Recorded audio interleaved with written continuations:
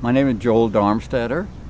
Uh, I was asked to make a presentation at this year's Smithsonian Folklife Festival uh, that looks back on some of the experiences that uh, I had uh, as a member of what has come to be called the Kindertransport, uh, an effort in 1938, 1939 to allow 10,000 unaccompanied children to, uh, to be allowed entry into Great Britain as a result of the threat that they were, for, uh, that they were facing had they remained behind uh, in Europe uh, under circumstances of uh, anti-Semitism and uh, the threat to the Jewish people in Germany and Austria particularly. It was hard not to have some uh, sense of the conditions that precipitated this very abrupt uh, uh, move away from my home. Because I had experienced uh, as recently as November 9th uh, and 10th what has come to be called Kristallnacht.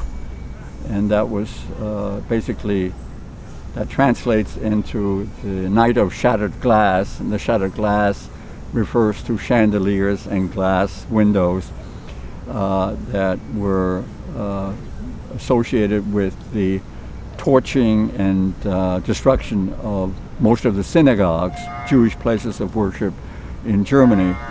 So our home was broken into, my father was arrested and sent to one or another concentration camp. I think the largest of these was in a place called Dachau, concentration camp outside of Munich in Germany.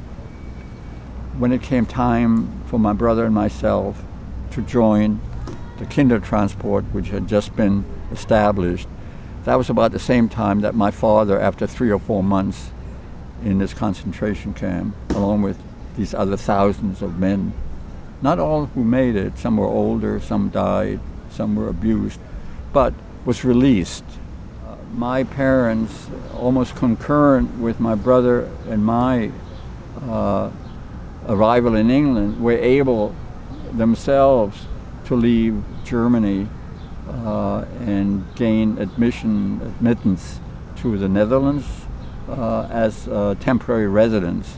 So, and we were able to exchange mail with one another uh, after their arrival there and my arrival uh, in England and the welcome that my brother and I received by what was to be my host family in uh, Manchester, England, that sticks with me, you know, very vividly, memorably. Uh, and it was a very positive uh, experience. We established rapport with one another, my brother and I on the one hand, and family, and were made to feel very warm, nurturing, welcome, part of the family the daughter of our uh, foster parents, brother, me, the resident dog, disagreeable dog, uh, a Pomeranian. This is the school I went to. This is the class picture. That's me. So it was not until early in 1940, well after the beginning of the war between England and Germany, and shortly before Holland itself was invaded by the Germans, that the, uh, the much coveted visa came through and we were able, as a family, uh, my brother and I from England, my parents from Holland, to come together as a unit to the United States. But it was particularly hard for my father. He did not share easily many details of, uh, you know, the, the concentration camp experience, his feelings. He was a very private, austere person. I wish one had a formula for ensuring that we should thrive on cultural differences and sociological differences and, and work them to our advantage and positive relationships rather than towards our enmity with one another.